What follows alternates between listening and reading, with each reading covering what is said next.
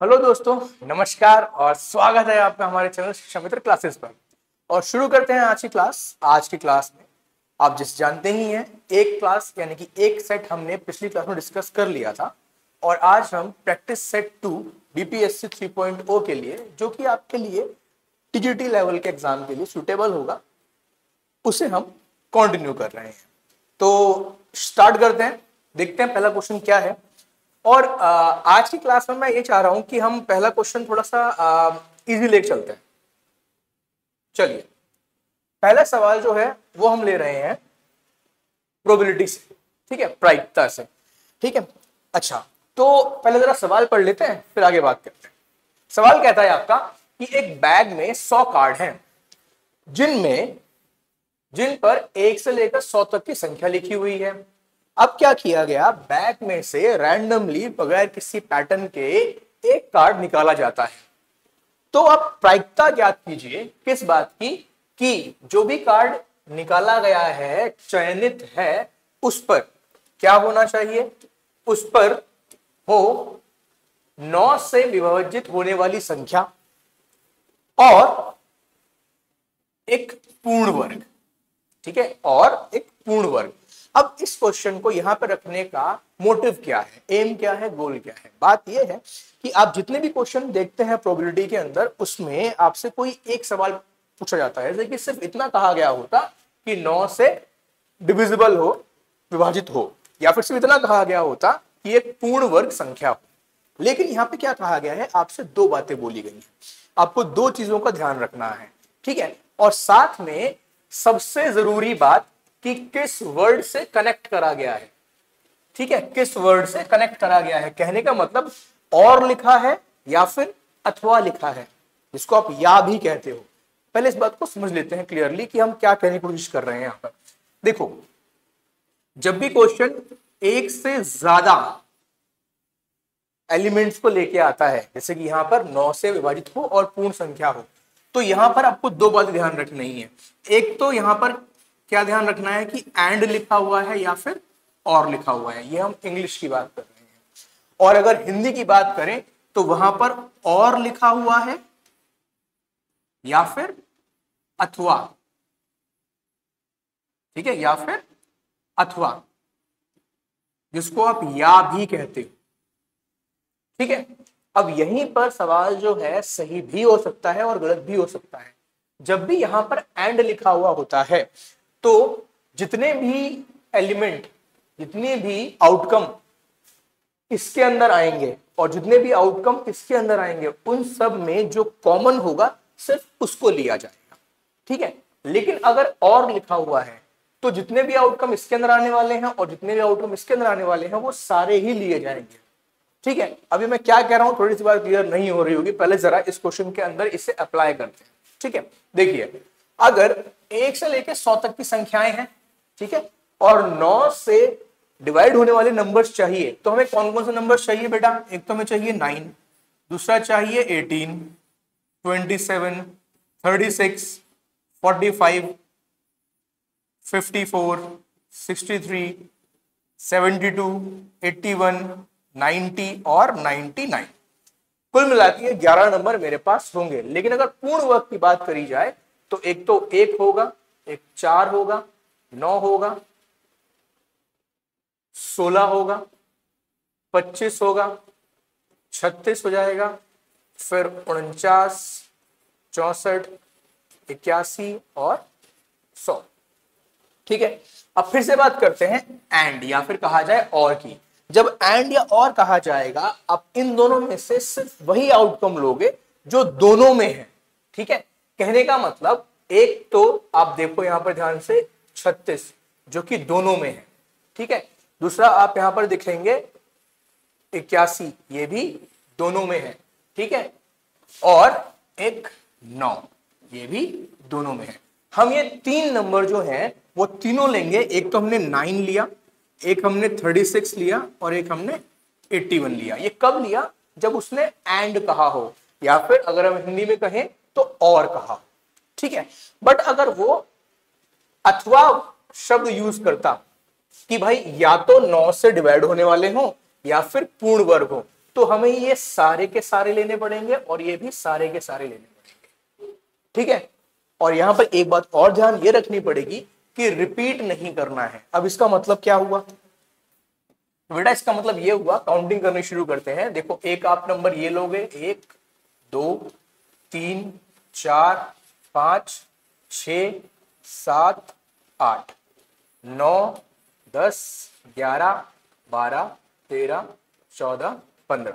ये तो हो गए पंद्रह नंबर जो अलग अलग थे। इसके अलावा हमने यहाँ पर जो ये तीन नंबर पहले निकाल के रखे थे, वो इसमें ऐड हो जाएँगे। आप छह नहीं जोड़ोगे। छह में क्यों कह रहा हूँ? क्योंकि तीन यहाँ पर है, तीन यहाँ पर है।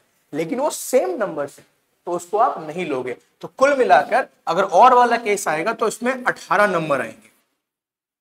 ठीक है? तो अगर यहाँ पर निकालनी है प्रोबेबिलिटी तो मैं कहूँगा भाई प्रोबेबिलिटी निकालने के लिए आपको करना है थ्री अपॉन में हंड्रेड तो आंसर क्या आ जाएगा? ज़ीरो पॉइंट ज़ीरो थ्री और अगर इस केस में निकाली जाएगी प्रोबेबिलिटी तो एटीन अपॉन में हंड्रेड आ जाएगी। तो आंसर हो जाएगा ज़ीरो पॉइंट वन एट हमारे सवाल में इसको पूछा गया था तो मेरा आंसर है ज़ीरो पॉइंट ज़ीरो थ्री मेरा आंसर क्या है? Zero point zero three. ठीक है? सही है? सही लग रहा है क्वेश्चन? चलिए, एक क्वेश्चन और लेते हैं ऐसा, फिर आगे बात करेंगे। ये देखिए, ठीक है? अब इस क्वेश्चन में भी थोड़ी सी सुंदर सी बात करते हैं एक। तो क्वेश्चन ये कह रहा है कि एक फैमिली है, फैमिली के अंदर तीन बच्चे हैं। ठीक है? तो आप ये बताइए कि एटलीस्ट एक बच्चा हो, कम से कम एक लड़का हो, इसकी प्रायिकता, इसकी प्रोबेबिलिटी क्या होगी? ठीक है, कम से कम एक लड़का हो। अब सबसे पहले तो यह आती है कि अगर हम तीन बच्चों की बात कर रहे हैं तो टोटल आउटकम कितने होंगे? क्या क्या हो सकता है, ये कैसे मालूम पड़ेगा? तो हमेशा ध्यान रखेंगे, जब भी हम बात करते हैं चिल्ड्रंस की, बच्चों की तो दो ही ऑप्शंस होते हैं, या तो गर्ल होगी या बॉय होगा जब भी ऐसा हो और थ्री चिल्ड्रन कह रखे हो तो आपको जो टोटल आउटकम बनाने हैं, वो कैसे बनाने हैं, जरा ध्यान से यहाँ पे देख लीजिएगा। तो यहाँ पर आप क्या करो, पहले चार बार जी लिख लो और चार बार बी लिख लो। बेटा, यहाँ पर जी का मतलब गर्ल है और बी का मतलब बॉय है। ठीक है? अच्छा फिर क्या करना है? फिर दो बार जी लिखना है और दो बार बी लिखना है। अगेन दो बार जी लिखना है और दो बार बी लिखना है। और उसके बाद में एक बार जी एक बार बी यानी कि girl boy girl boy girl और बॉय कुल मिलाकर हमारे पास आठ आउटकम हो जाएँगे। इसके अलावा कोई भी कंडीशन पॉसिबल नहीं है। यानी कि ऐसा हो सकता है कि किसी फैमिली में तीनों ही लड़कियाँ हो। ठीक है? या फिर ऐसा हो सकता है किसी फैमिली में पहली दो लड़कियाँ हो और फिर तीसरा जो है वो लड़का हो। इस तरह से मेरे पास ये आठ आउटकम है। ठीक है? अब आते हैं जो हमसे पूछा गया है, जो हमारे फेवर में है। क्या? भाई, हमसे पूछा गया कि कम से कम एक लड़का हो। अब यहाँ पर समझने की बात यह है कि अगर हम कह रहे हैं कम से कम एक लड़का हो तो इसका मतलब यह भी होता है कि एक से अधिक भी हो सकते हैं। तो अब एक से अधिक अगर हो सकते हैं तो कितने हो सकते हैं? भाई, एक से अधिक दो हो सकता है, या फिर तीन हो सकते हैं। इससे ऊपर हम नहीं जाएँगे। तो कम से कम एक का मतलब क्या हुआ? भाई, कम से कम एक मतलब ये हुआ कि एक लड़का भी हो सकता है, दो लड़के भी हो सकते हैं, और तीन लड़के भी हो सकते हैं। हमें ये तीनों ही केस कंसीडर करने पड़ेंगे। हमें ये तीनों ही केस कंसीडर करने पड़ेंगे। सबसे पहले बात करते हैं उन उन केसेस की जहाँ पर सिर्फ़ एक लड़का हो। तो देखो जरा। यहाँ पर देखा जाए तो ये है जहाँ पर एक लड़का है, ठीक है? इसके बाद में यहाँ पर देखा जाए तो मेरे पास एक ये वाला केस है जहाँ पर एक लड़का है, ठीक है? दो केस हो गए और एक ये वाला केस है जहाँ पर एक लड़का है, ठीक है बेटा? अच्छा अब दूसरा, जहाँ पर दो लड़के हों, ठीक है? दो लड़कों की बात करी जाए तो इस केस में दो लड़के हैं, ठीक है? इस केस में दो लड़के हैं और इस केस में दो लड़के हैं। ठीक है? अब तीसरी की बात करी जाए जहाँ पर तीन लड़के हों, ठीक है? तो सिर्फ़ और सिर्फ़ यहीं पर आपको तीन लड़के दिखाई पड़ेंगे। तो तीन आउटकम हमने यहाँ पे काउंट करे, तीन आउटकम यहाँ पे काउंट करे, एक आउटकम यहाँ पे काम किया, कुल मिला के मेरे पास आउटकम कितने हो गए? सात हो गए। ठीक है? अगर सात मेरे पास कुल आउटकम आ चुके हैं और टोटल थे आठ तो जो प्रोबेबिलिटी हो जाएगी मेरी वो क्या हो जाएगी? सेवन अपॉन में एट। तो सी है मेरा आंसर। ठीक है? बात समझ में आ रही है? तो इस बात का ध्यान रखेंगे। अब देखो, अगर आपने प्रोबेबिलिटी पहले से पढ़ी हुई है, थोड़ी बहुत याद है तो आपको इसे देखकर क्या आता है? इसे देख याद आता है कॉइन ठीक है? सिक्का। जब सिक्के को तीन बार उछालते हो तो ऐसे ही आउटकम बनते हैं। बस हम वहाँ पर हेड और टेल यूज़ करते हैं। ठीक है? तो जब भी कोई ऐसा एक्सपेरिमेंट आए, अभी बात ध्यान सुनना। जब भी कोई ऐसा एक्सपेरिमेंट आए, जिसमें दो ही आउटकम हो सकते हैं। जैसे कॉइन में हेड टेल होता है है ना? ऐसा हमने यहाँ पे देखा। तो हम बच्चों की बात कर रहे हैं तो गर्ल या बॉय हो सकते हैं। ह्यूमन की बात करी जाए तो मेल या फीमेल हो सकते हैं। तो सिर्फ़ दो ही आउटकम है। और दोनों की प्रोबेबिलिटी क्या है? बराबर है। तो हम कॉइन वाला केस ही यूज़ करते हैं। फिर चाहे एक कॉइन हो, चाहे दो कॉइन हो, चाहे तीन कॉइन हो एंड सो ऑन ठीक है? इसके अलावा आप एक तरीका ध्यान रखेंगे कि आपको ये टेबल फॉर्म कैसे करनी है। कैसे फॉर्म करनी है? पहले चार बार जी लिखना है, चार बार बी लिखना है, फिर दो बार जी दो बार बी दो बार जी दो बार बी और फिर single single single single single आपके टोटल आउट आउटकम तैयार हो जाएँगे। ठीक है? चलिए, अगला सवाल देखते हैं। तो हम अगला सवाल जो ले रहे हैं, वो हम ये लेते हैं चलिए। अच्छा क्वेश्चन है, बहुत बढ़िया क्वेश्चन है, ठीक है? थोड़ा वक्त लेगा और बहुत कुछ सिखा कर जाएगा तो थोड़ा ध्यान से देखना ठीक है ना? देखिए, आपको सवाल क्या दिया गया है? आपसे क्वेश्चन कहा गया कि एक समीकरण है under root three cot square theta minus four cot theta plus under root three equal to zero. अब क्वेश्चन को देखने के साथ ये लग रहा है, और एक बहुत नॉर्मल सी बात है कि आप लोग सभी यही कहेंगे कि सर, क्वेश्चन जो है वो ट्रिग्नोमेट्री से ठीक है? मैं भी कहूँगा हाँ बेटा, आप बिल्कुल सही बात कह रहे हो। लेकिन अभी हम इसमें ट्रिग्नोमेट्री नहीं लगाने वाले। क्यों? अभी दिखाता हूँ, ऐसा क्यों कह रहा हूँ मैं? तो ऐसा करते हैं, एक छोटा सा काम करते हैं। लेट करते हैं। कि जो कॉट थीटा है ना बेटा, वो एक्स है। जो कॉट थीटा है, वो एक्स है। तो ये सवाल क्या बन जाता है? जरा ध्यान से देखेंगे इस बात को, ठीक है?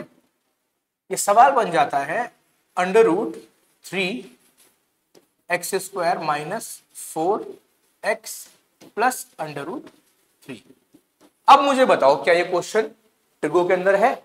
अब ये क्वेश्चन ट्रिगो का नहीं है। अब ये कहाँ आ गया? अब ये आ गया आपका द्विघातीय समीकरण, यानी कि क्वाड्रेटिक इक्वेशन के अंदर। ठीक है, चलिए आगे बात करते हैं। अगर ऐसा है तो इसको सॉल्व करना शुरू करते हैं। इसे सॉल्व कैसे करते हैं? भाई, सीधी सी बात है कि इसको इससे मल्टीप्लाई करो तो क्या आएगा? तीन, यानी कि मल्टीप्लाई करके थ्री आना चाहिए, और प्लस करके, ठीक है? और प्लस करके चार आना चाहिए। तो ऐसे फैक्टर क्या हो सकते हैं? ऐसे फैक्टर हो सकते हैं हमारे पास। मैं ये जरा यहाँ से मिटा दू। Under root three X square minus three X minus X plus root three ठीक है? तो जब तीन और एक को जोड़ेंगे तो चार आएगा मल्टीप्लाई करेंगे तो तीन आएगा। ठीक है? चलिए, फटाफट से कॉमन निकाल लेते हैं। इससे ज़्यादा टाइम खराब करने की ज़रूरत नहीं है, क्योंकि ये सब आपको आता ही है। यहाँ से माइनस का वन कॉमन आ जाएगा। इक्वल्स टू ज़ीरो तो कुल मिला के X minus under root three और under root three X minus one ये मेरे पास दो फैक्टर बन जाते हैं। अगर इन दो फैक्टर को आगे सॉल्व किया जाए तो हम यहाँ से दो एक्स की वैल्यू फाइंड कर सकते हैं। एक तो आ जाएगा कि x माइनस रूट थ्री अगर ज़ीरो है तो x की वैल्यू है अंडर रूट थ्री और अगर under root three X minus one जो है वो ज़ीरो है तो एक्स की वैल्यू आ जाएगी वन अपॉन में अंडर रूट थ्री बट क्या ये हमारा सवाल पूरा सॉल्व हो गया? नहीं, अभी ये पूरा सॉल्व नहीं हुआ है। अब क्या हुआ? इससे मुझे ये मालूम पड़ा कि कॉट थीटा की वैल्यू अंडर रूट थ्री हो सकती है, या फिर कॉट थीटा की value one upon under root three हो सकती है। ठीक है? बट मुझे फाइंड क्या करना है? बेटा, मुझे फाइंड करना है ये। मुझे फाइंड करना है tan square theta plus cot square theta ठीक है? तो पहले ये काम जो होगा, वो सिर्फ़ और सिर्फ़ इस वाली वैल्यू के लिए होगा। ठीक है? इस वाली वैल्यू के लिए होगा। तो हमने ऐसा किया कि कॉट की वैल्यू यहाँ पुट कर दी, और ये है अंडर रूट थ्री का स्क्वायर बट कॉट पता है टेन चाहिए। तो आप सब लोग जानते हैं जो कॉट होता है, वो क्या होता है? वो वन अपॉन टेन होता है, यानी कि टेन का रेसिप्रोकल होता है, उल्टा होता है। तो यहाँ पर टेन के बदले क्या पुट कर दू? वन अपॉन अंडर थ्री और उसका स्क्वायर इस बात को ध्यान रख लेंगे। मैं कहीं पर लिखकर यहाँ पर दे देता हूँ कि जो कॉट थीटा होता है, वो वन अपॉन टेन थीटा होता है। यानी कि जो टेन थीटा की वैल्यू हो जाएगी, वो हो जाएगी वन अपॉन कॉट थीटा यानी कि one upon under root three ठीक है? इसको सॉल्व कर देते हैं तो वन अपॉन में थ्री प्लस थ्री आप एलसीएम लेंगे तो आंसर आएगा टेन अपॉन थ्री तो ये मेरा आंसर यहाँ पर दिखाई पड़ रहा है। ठीक है?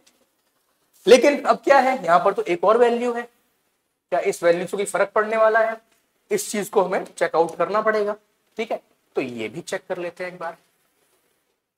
तो फिर से ये चीज़ यहाँ पे कॉपी करी जाए तो मेरे पास क्या पुट करना है मुझको? मुझको चाहिए टेन स्क्वायर थीटा और मुझे चाहिए कॉट स्क्वायर थीटा अब टेन की कॉट की वैल्यू क्या है? One upon under root three और टेन जो होता है कॉट का उल्टा होता है तो यहाँ पर सिर्फ़ रूट थ्री तो आप देखेंगे कि दोनों से ही सेम वैल्यू आ रही है। ठीक है? तो यही है हमारा फाइनल आंसर ठीक है भाई? चलो। अगला सवाल लेते हैं।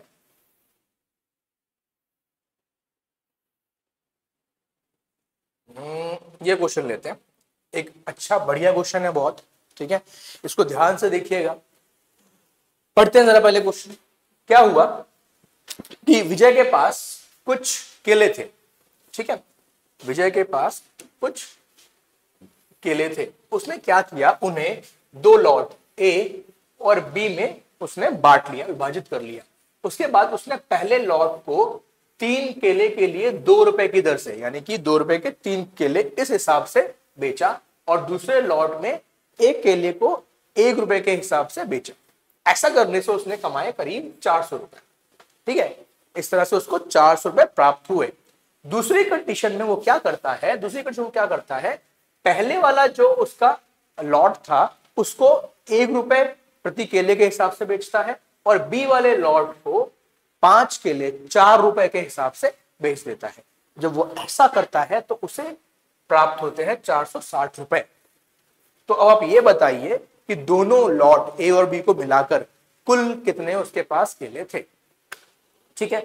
अब सबसे पहली चीज़, अगर आप यहाँ पर समझ पाए हैं, पकड़ पाए हैं तो वो ये होनी चाहिए कि सवाल है किस टॉपिक से?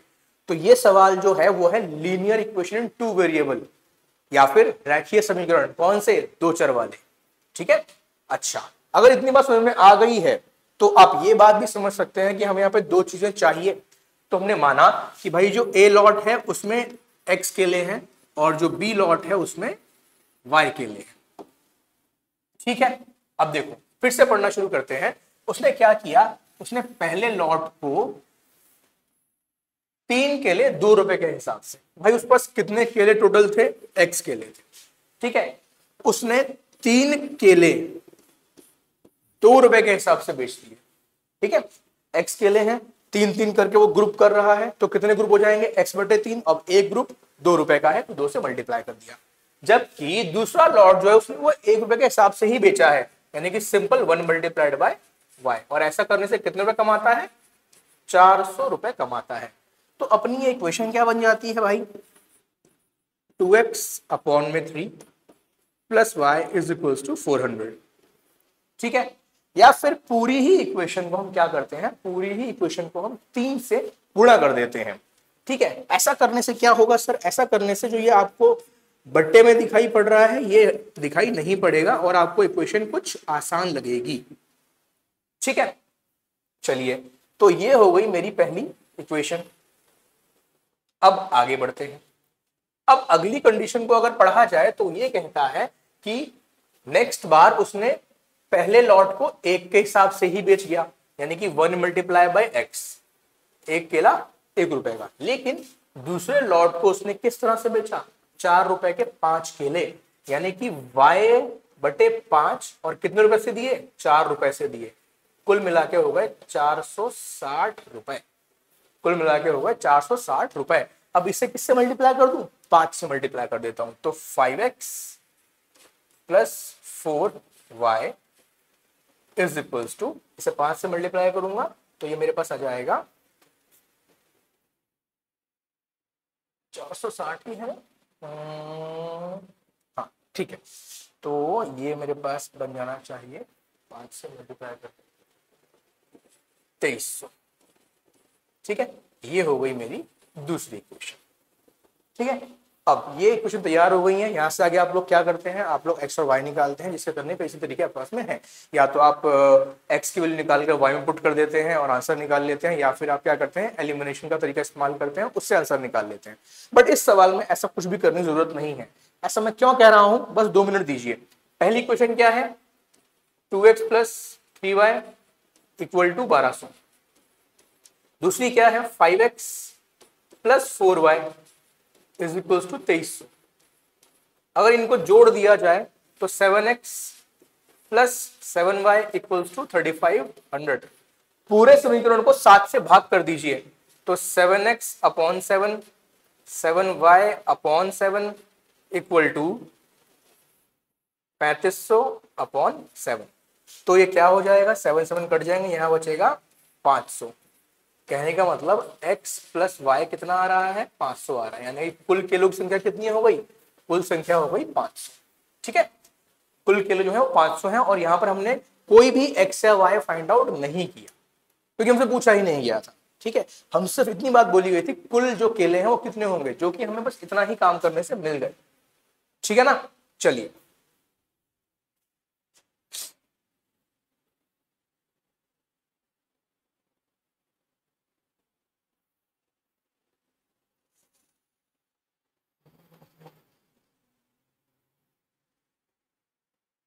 चलिए एक सवाल ये लेते हैं जरा ठीक है? क्वेश्चन फिर से ट्रू का ही है और देखते हैं कि इसकी अप्रोच क्या है।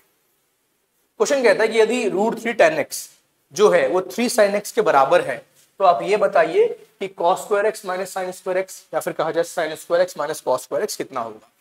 तो देखो ऐसे क्वेश्चन में क्या है? जो भी हमें ये रिलेशन दिया होता है यही हमारे लिए सब कुछ है। हम जो भी आंसर निकालने वाले हैं डिराइव करने वाले हैं, वो इसी रिलेशन से ही करेंगे। कैसे करेंगे? जरा इसको लिखते हैं और फिर आगे बात करते हैं। तो मेरा रिलेशन ये कहता है बेटा कि जो under root three ten x है, वो थ्री साइन एक्स के बराबर है। ठीक है? ये बात तो आप सबके समझ में आई ही आती है। अब यहाँ से क्या करा जाए? मैं कहता हूँ कि यहाँ से ऐसा करते हैं कि टैन को लिखते हैं साइन एक्स अपॉन में कॉस एक्स और यहाँ पर रूट थ्री को थ्री के नीचे भेजकर साइन एक्स को ऐसा ही रख देते हैं। अब क्या करा जाएगा? अब क्या करा जाएगा? अब साइन से साइन काट दिया जाएगा। ये रूट थ्री अब थ्री को काटेगा तो रूट थ्री बच जाएगा। ठीक है? तो अब क्या बचा? वन अपॉन में cos x is equals to under root ठीक है? या फिर cos x is equal to one upon में अंडर रूट ठीक है, यहाँ तक की बात है? cos x निकल गया। अब जो हमें फाइंड करना है, उसकी बात करी जाए तो मुझे फाइंड आउट करना है कि sine square x minus cos square x इसका जो है जवाब क्या होगा? ठीक है? तो देखो, दो रास्ते हैं। दो रास्ते कैसे हैं? एक रास्ता है जहाँ पर हम वो सवाल जो सॉल्व करने वाले हैं, उसे टेंथ में पढ़े लिए जो आपने पढ़े हुए फॉर्मूले थे, उनसे सॉल्व करेंगे। ठीक है? वो कैसे? देखो, अगर आपको कॉस पता है तो आप साइन निकाल सकते हो। अगर आपको कॉस पता है तो आप साइन निकाल सकते हो। अब ये होगा कैसे? बहुत आसान सा तरीका होता है कि अगर ये वन अपॉन रूट थ्री दिया हुआ है तो आपको पता होना चाहिए जो कॉस होता है, वो किसका रेशो है, किसका अनुपात है। तो कॉस जो होता है, वो होता है बेस अपॉन हाइपोटेन्यूज ठीक है? एक ट्राइंगल बना लीजिए। यहाँ पर 90 डिग्री है। ठीक है? और यहाँ पर मैं एंगल एक्स ले लेता हूँ। तो बेस हो गया एक और ये हो गया रूट तीन। तो जो ये लंब है, यानी कि परपेंडिकुलर है, वो कैसे निकलेगा? वो निकल जाएगा कैसे? अंडर रूट थ्री का स्क्वायर माइनस वन करके, यानी कि तीन माइनस एक। तो कितना आ गया? दो। ठीक है? अच्छा तो मेरे पास में यहाँ पर परपेंडिकुलर आ गया। अब मुझे क्या चाहिए? मुझे चाहिए साइन तो साइन क्या होता है? बेटा साइन होता है साइन एक्स होता है परपेंडिकुलर अपॉन में हाइपोटेन्यूस अब परपेंडिकुलर तो हमने अभी फाइंड किया ना। कितना फाइंड किया? टू तो हमने यहाँ पुट कर दिया टू और एच कितना था? एच हम पहले देख चुके थे। एच की वैल्यू है अंडर रूट थ्री ठीक है? अगर इस वैल्यू को यहाँ पुट कर दिया जाए तो भाई साइन के बदले हमने लिख दिया कुछ ऐसा। और कॉस के बदले हम पहले ही निकाल चुके हैं। ठीक है? इसको सॉल्व कर देते हैं। फोर अपॉन में थ्री माइनस वन अपॉन में थ्री यानी कुल मिलाकर यहाँ पर मेरे पास जो जवाब आ जाएगा, वो आ जाएगा फोर माइनस वन अपॉन में थ्री तो आंसर है एक। ठीक है? और ये आंसर तो कहीं भी नहीं लिखा हुआ। हम्म हम्म हम्म हम्म।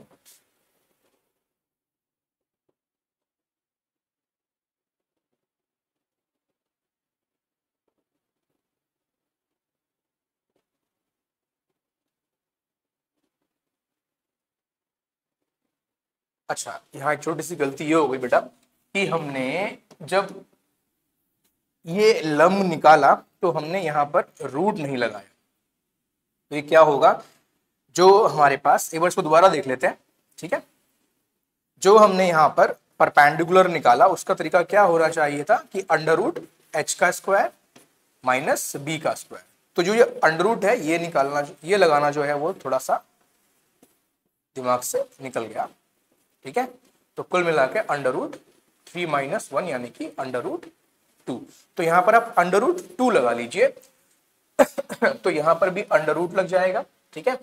और यहाँ पर भी अंडर रूट लग जाएगा। इसको फिर हम दोबारा सॉल्व कर देते हैं। तो जब अंडर रूट टू का स्क्वायर होगा टू बचेगा अपॉन में थ्री माइनस वन अपॉन में थ्री तो जवाब आ जाएगा वन अपॉन में थ्री तो ए सही ऑप्शन ठीक है? अब ये जो क्वेश्चन था, हमने किस तरीके से किया? हमने ट्राइंगल को यूज़ करके किया, जहाँ हमने टेंथ का मेथड यूज़ किया। बट इसी क्वेश्चन को हम एक और तरीके से भी कर सकते हैं, ठीक है? आपको दिखा देता हूँ, बता देता हूँ, आपको याद रहे तो बहुत अच्छी बात है। सुनिए। एक फॉर्मूला होता है हमारे पास, ठीक है? एक फॉर्मूला होता है हमारे पास, जहाँ हम कहते हैं कि जो cos square x minus sine square x होता है वो कॉस टू एक्स के बराबर होता है। ठीक है? वो कॉस टू एक्स के बराबर होता है। अब आप अपना सवाल देखिए। आपसे कुछ ऐसा ही पूछा है। ठीक है? बट साइन जो है वो आगे पीछे है। ठीक है? तो अगर मैं यहाँ से माइनस कॉमन निकाल लू तो ये बन जाएगा sine square x minus cos square x और यही मुझे निकालना है। ठीक है? यही मुझे फाइंड आउट करना है। तो अगर देखा जाए तो एक्चुअली मुझे फाइंड आउट क्या करना है? यहाँ माइनस लगा के कॉस टू एक्स और ये वाली वैल्यू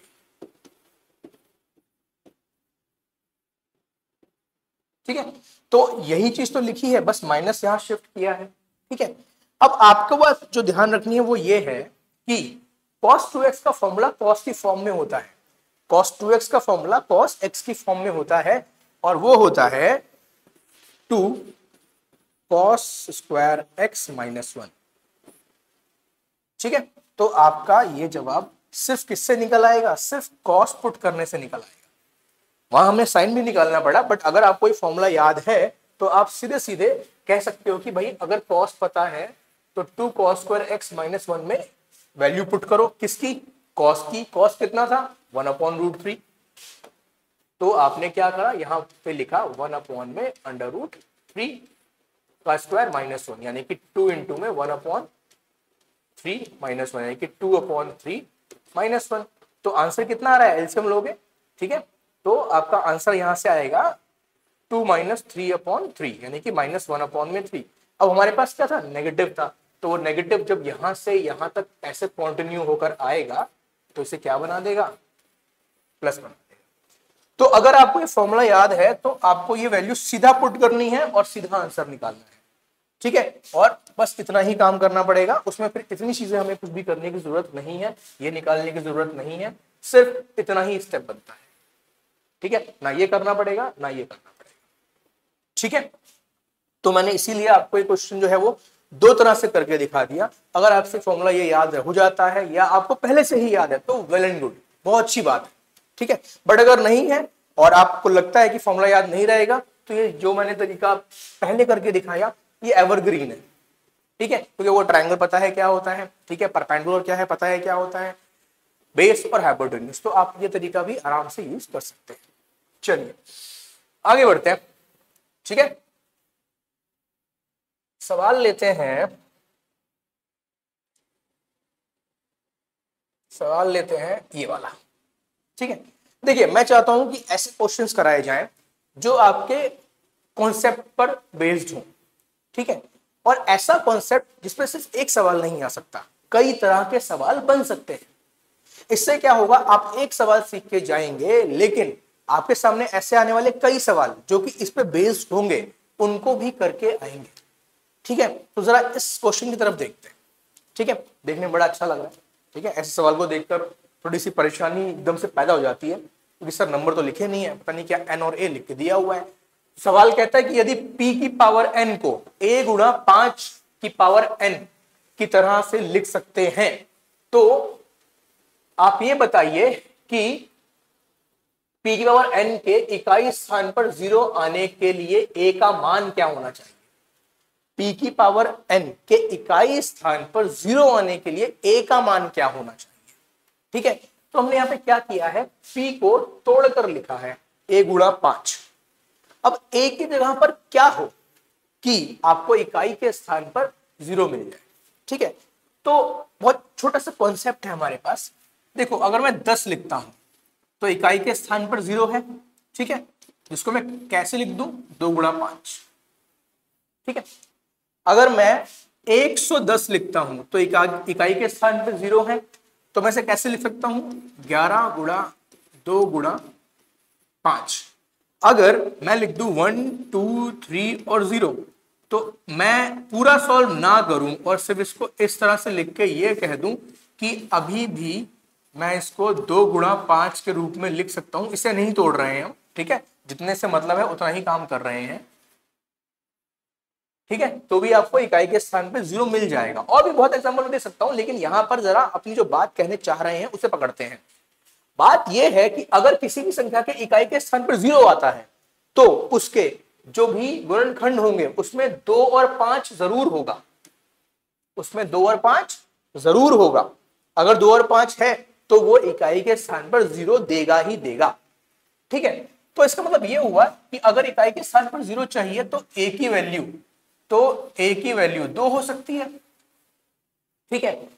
अब एक बार जरा चीज़ देखते हैं। क्या ए की वैल्यू चार हो सकती है? क्योंकि जब मैं चार को पाँच से मल्टीप्लाई करूँगा, तब भी तो इकाई के स्थान पर ज़ीरो आएगा। तो क्या सर ए की वैल्यू छह हो सकती है? क्योंकि जब मल्टीप्लाई करूँगा तो आंसर तीस आएगा और ज़ीरो है इकाई के स्थान पर। तो क्या सर आठ हो सकती है? तो हाँ बिल्कुल हो सकती है। तो क्या नौ भी हो सकती है? मैं कहूँगा नहीं, नौ नहीं हो सकती। नौ तो आपको पाँच दे देगा। तो कैसे नंबर्स पे ज़ीरो आ रहा है? सिर्फ़ कौन से नंबर सम संख्याओं पर। सिर्फ़ इवन नंबर पे ज़ीरो आ रहा है तो हमारा आंसर है बी ठीक है? हमारा आंसर है बी क्योंकि कोई भी वास्तविक संख्या नहीं बिकॉज़ इसमें तो भाई नाइन भी आएगा नाइन तो ज़ीरो नहीं दे रहा। इनमें से कोई नहीं, इसको छोड़ देते हैं जरा। विषम संख्या है, बिल्कुल नहीं। इसी बात पे ये बात भी क्लियर हो जाती है कि सिर्फ़ और सिर्फ़ इवन नंबर ही है ऐसे। सिर्फ़ और सिर्फ़ सम संख्या ही है ऐसी जहाँ पर आपको इकाई के स्थान पर यूनिट प्लेस पर ज़ीरो मिलेगा। ठीक है? चलिए, आगे बढ़ते हैं।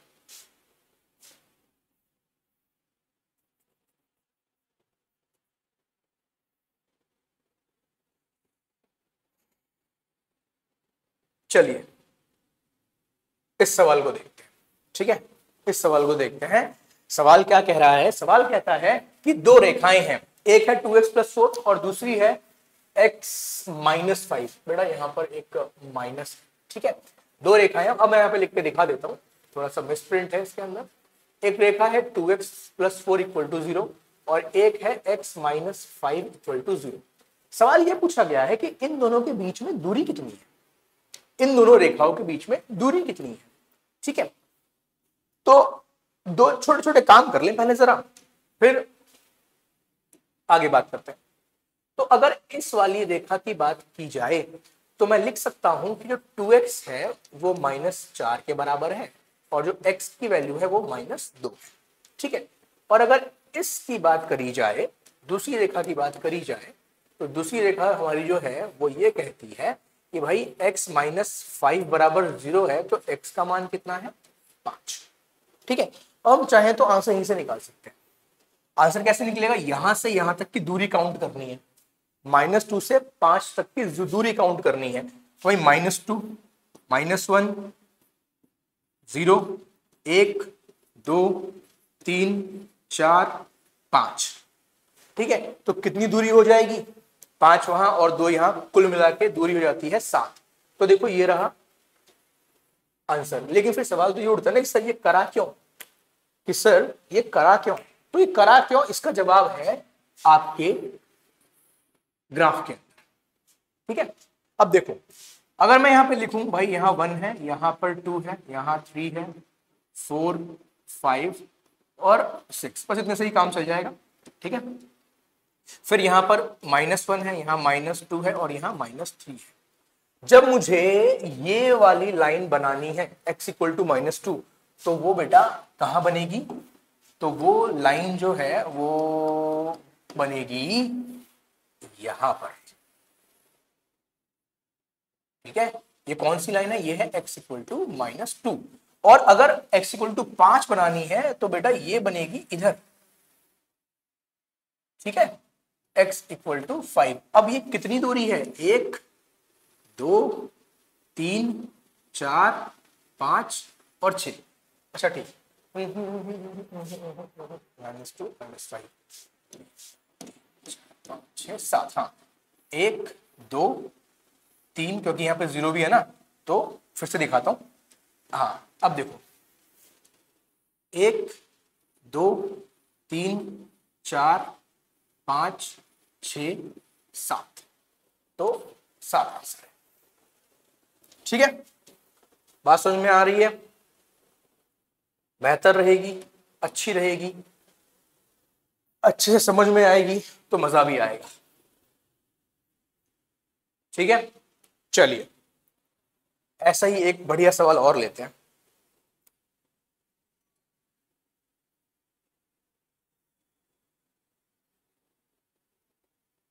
चलिए जरा बात करते हैं इस सवाल की। ठीक है? क्वेश्चन जो है वो है आपका कोऑर्डिनेट ज्योमेट्री से ठीक है? यानी कि जो आपका चैप्टर है, ज्यामितीय निर्देशांक, वहाँ से। क्वेश्चन क्या कह रहा है?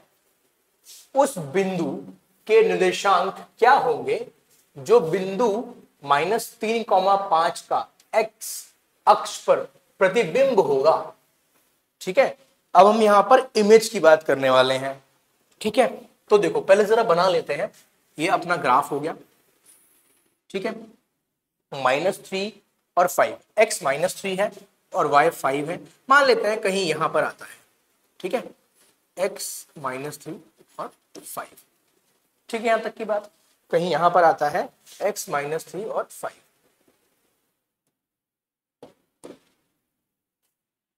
ये हमारा बिंदु हो गया और इसके निर्देशांक है माइनस थ्री और फाइव। अब इस बिंदु का इस बिंदु का प्रतिबिंब निकालना है। लेकिन किसमें? अब यही बात ध्यान देने की रहेगी कि किसमें निकालना है? भाई, निकालना है एक्स अक्ष में, यानी कि हमें एक्स एक्सिस में इसका प्रतिबिंब निकालना है। ठीक है? तो इसका प्रतिबिंब एक्स में होगा तो कहीं यहाँ बनेगा। ठीक है? तो आपको यह बात हमेशा याद रहनी चाहिए कि जितनी दूरी ये डॉटेड लाइन की होगी ऊपर, उतनी ही दूरी डॉटेड लाइन की नीचे भी होनी चाहिए। तो ये दूरी कितनी है? देखो यहाँ पर x का मान है माइनस तीन और यहाँ पर y का मान है पाँच। तो ये दूरी कितनी हो गई? मैं इसको हाईलाइट कर देता हूँ एक बार।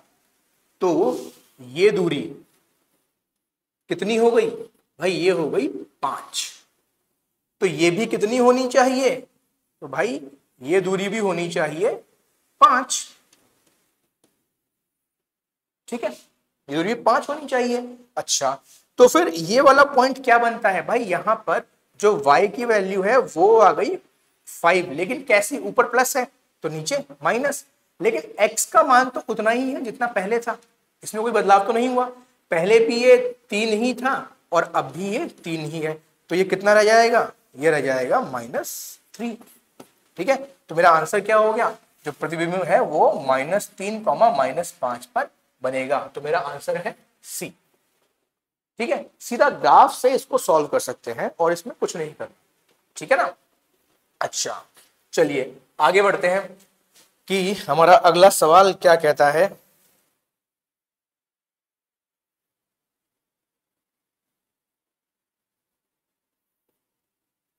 नेक्स्ट क्वेश्चन मैं सोच रहा हूँ कि ये लिया जाए।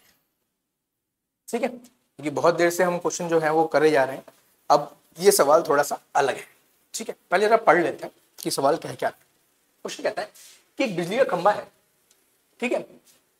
और इस पर छह मीटर की ऊंचाई पर एक बल्ब लगा हुआ है। अगर डेढ़ मीटर लंबी महिला की परछाई तीन मीटर हो तो खंबे से महिला की दूरी ज्ञात कीजिए। ये तो अजीब बात हो गई, है ना? देखो, ये हो गया हमारा खंबा, पोल, ठीक है? और ये जो है पोल वो हम सिक्स मीटर ले लेते हैं कि भाई यहाँ पर बल्ब लगा हुआ है। ठीक है? अब इसी का कहीं लाइन में एकदम कोई महिला खड़ी हुई है। ठीक है? और इनकी जो आ, लंबाई है वो 1.5 है। मान लेते हैं जैसा कि क्वेश्चन में कहा गया कि जो 1.5 मीटर की जो महिला है, ये तीन मीटर की परछाई बनाती है। तो यहाँ से लेके यहाँ तक की दूरी कितनी हो गई? तीन मीटर। ठीक है? तो आप ये बताइए कि ये महिला पोल से कितनी दूर है? यानी कि मुझे एक्स निकालना है। ठीक है? अब छोटा सा काम और करना है। यहाँ से लाइन को लेके आना है और इसको ऐसे करके यहाँ जोड़ देना है। ठीक है? अब बताइए ये हो क्या रहा है? सवाल जो है वो किस चैप्टर से है? ठीक है? अगर आपको लगता है कि ये ऊंचाई और दूरी से है तो ऐसा नहीं ठीक है? ये सवाल जो है वो है त्रिभुज से, जहाँ पर हम समरूपता पढ़ते हैं। ठीक है? जहाँ पर हम समरूपता पढ़ते हैं। मैं चीज़ दिखाता हूँ। एक ट्राइंगल है ए बी सी और एक ट्रायंगल है पी क्यू सी ये दोनों त्रिभुज क्या होंगे? फिर से नाम लिख देता हूँ आपके लिए। एक त्रिभुज है ए बी सी और दूसरा त्रिभुज है पी क्यू सी ये दोनों ही त्रिभुज समरूप होंगे। भाई, क्यों होंगे? भाई, देखो, पोल 90 डिग्री पर खड़ा होगा और महिला भी सीधी खड़ी होगी, ठीक है? तो एक एंगल भी वाला इक्वल हो गया। पर एंगल सी दोनों ही त्रिभुज के अंदर आता है। एंगल सी दोनों ही त्रिभुज के अंदर आता है। तो हम कह सकते हैं कि भाई एंगल बी जो है, वो एंगल क्यू के इक्वल है और एंगल सी कॉमन है। तो हमारे जो त्रिभुज है ए बी सी और त्रिभुज पी क्यू सी दोनों ही समरूप हो जाते हैं। अच्छा ऐसा करने से क्या होगा सर? ऐसा करने से बेटा ऐसा होगा कि आपको यहाँ पर अगर याद हो कि अगर दो त्रिभुज समरूप होते हैं तो उनकी भुजाओं का जो अनुपात होता है, वो बराबर होता है। पिछली क्लास में हमने बात करी है कि जो समरूप त्रिभुज होते हैं, उनकी भुजाएँ समानुपाती होती हैं। इसलिए हम कहेंगे कि जो ए बी बटे पी क्यू है, यानी कि उसकी भी ऊंचाई, इसकी भी ऊंचाई जो होगी, वो अब देखो, अगर मैंने यहाँ पर ए बी लिया है तो यहाँ पे पूरा बीसी लेना पड़ेगा। आप यहाँ भी देख सकते हो। ठीक है? और अगर इसका पी क्यू लिया है तो इसका क्यू सी लेना पड़ेगा। ये चीज़ आप यहाँ पे नोटिस करो तो ए बी के साथ पी क्यू आएगा और बीसी के साथ क्यू सी आएगा। ठीक है? वैल्यूज़ पुट करी जाए तो six upon one point five is equals to BC क्या है? एक्स प्लस थ्री अपॉन में क्यू सी क्या है? थ्री ठीक है? बस इसको सॉल्व कर लेते हैं जरा जल्दी से। और क्वेश्चन खत्म करते हैं तो 1.5 से 6 कटेगा चार बार। तो 12 बराबर है x प्लस तीन तो x का मान यहाँ पर आ गया नौ। जो कि आंसर में नहीं लिखा हुआ है। अच्छा एक बार जरा चेक कर लेते हैं। कि जो भी है वो सही है कि नहीं है? Um,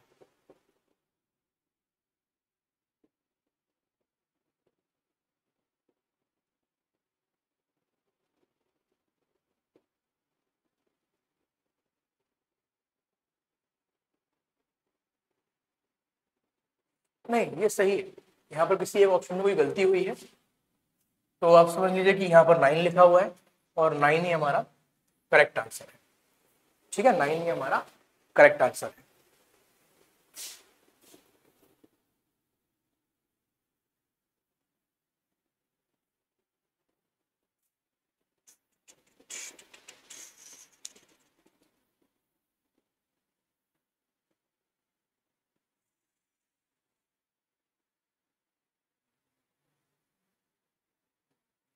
चलिए, ये सवाल लेते हैं और ये सवाल आज का आखिरी सवाल करेंगे हम, ठीक है? और फिर मिलेंगे अगली क्लास में, तीसरा सेट जब हम सॉल्व करेंगे। तो ये क्वेश्चन क्या कह रहा है? कि एक घन है और घन की जो तीन आसन फलक हैं, उनका क्षेत्रफल एक्स वाई और जेड है। तो इसका आयतन कितना होगा? ठीक है तो इसका आयतन कितना होगा? जब हम बात करते हैं एक घन की तो कुछ इस तरह से कर लेते हैं। ठीक है? अब जो ये कहा जा रहा है कि आसन फलक यानी कि एडसेंट फेसेस तो ये कैसे कैसे होंगे? भाई देखो आप जिस भी रूम में बैठे हो उसका एक कोना पकड़ लो ठीक है? उसका एक कोना पकड़ लो। मान लो आपने कोना पकड़ा वो ये वाला है ठीक है? तो आपके पीछे वाली दीवार ठीक है? हम्म, इससे करते हैं ठीक है? फिर आपके दाएँ वाली दीवार, ठीक है?